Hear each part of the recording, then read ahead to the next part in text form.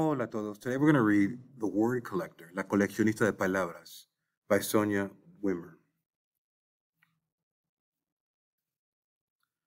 Luna was an extraordinary girl. She lived high, high up in the sky. And she had a very strange pastime. Luna collected words just like other people collect stamps. Funny words that tickled your palate when you say them. Words so beautiful that they make you cry. Words that embrace your soul.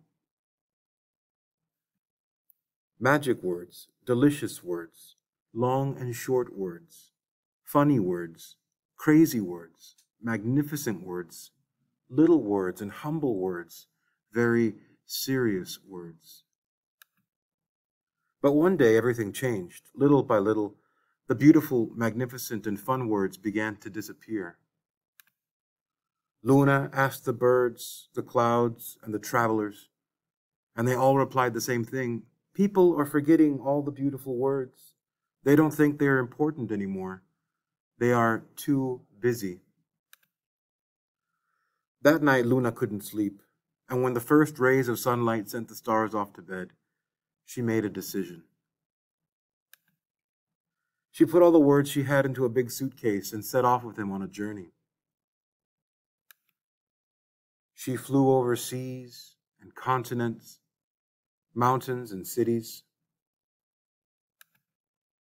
Wherever there was hate and violence, she sowed words of brotherhood, love, and tolerance within people's hearts.